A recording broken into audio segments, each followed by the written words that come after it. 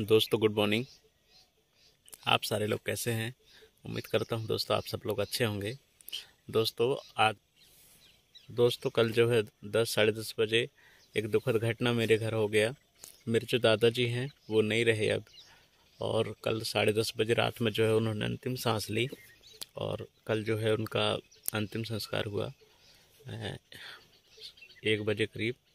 तो इस वजह से दोस्तों मैं वीडियो नहीं बना पाया और आप सब लोग उनके आत्मा की शांति के लिए दोस्तों प्रार्थना करेंगे।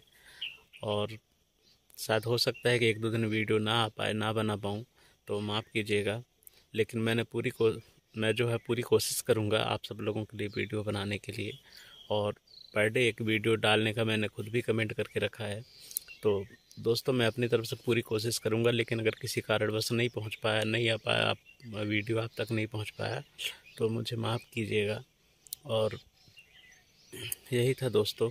यही खबर आप सब लोगों को देनी थी क्योंकि मेरे जो दादाजी हैं, जो नहीं रहे अब तो और अभी मैं गाँव के बाहर आया हुआ हूँ घूमने के लिए। सुबह के सात बज रहे हैं और मैं जल्दी आ गया था, पर जो है इधर घूमने आया हुआ हूँ, सब लोगों को बता दूँ। तो यही खबर था दोस्तों। तो चलिए रखते हैं, क्योंकि घर पे बहुत सारा काम है। और मेहमान भी हैं सभी बहुत लोग। तो चलिए, अभी रखते हैं। और जैसे ही टाइम मिलेगा वीडियो आप सब लोगों के लिए बनाएँगे और आप सब लोगों से बातें करेंगे। तो चलिए दोस्तों, रखते हैं। बाय जय हिंद। अपना ख्याल रखिए, अपने फैमिली का ख्याल रखिए। Okay thank you